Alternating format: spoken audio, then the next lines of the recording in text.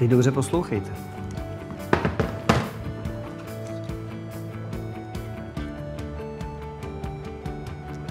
Slyšeli jste?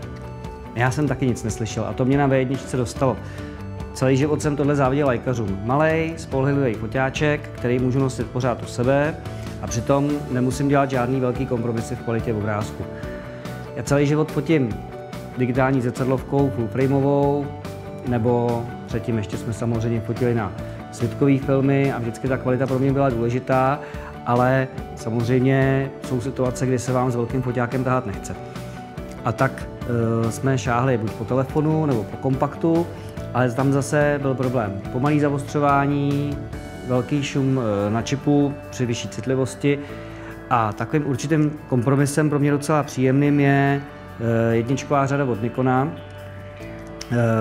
Fotím se s ním asi už třetí, čtvrtý měsíc a tahám ho každý den sebou, takže vím, kde ho můžu pochválit a vím taky, kde nejsem úplně spokojený a pojďme na to.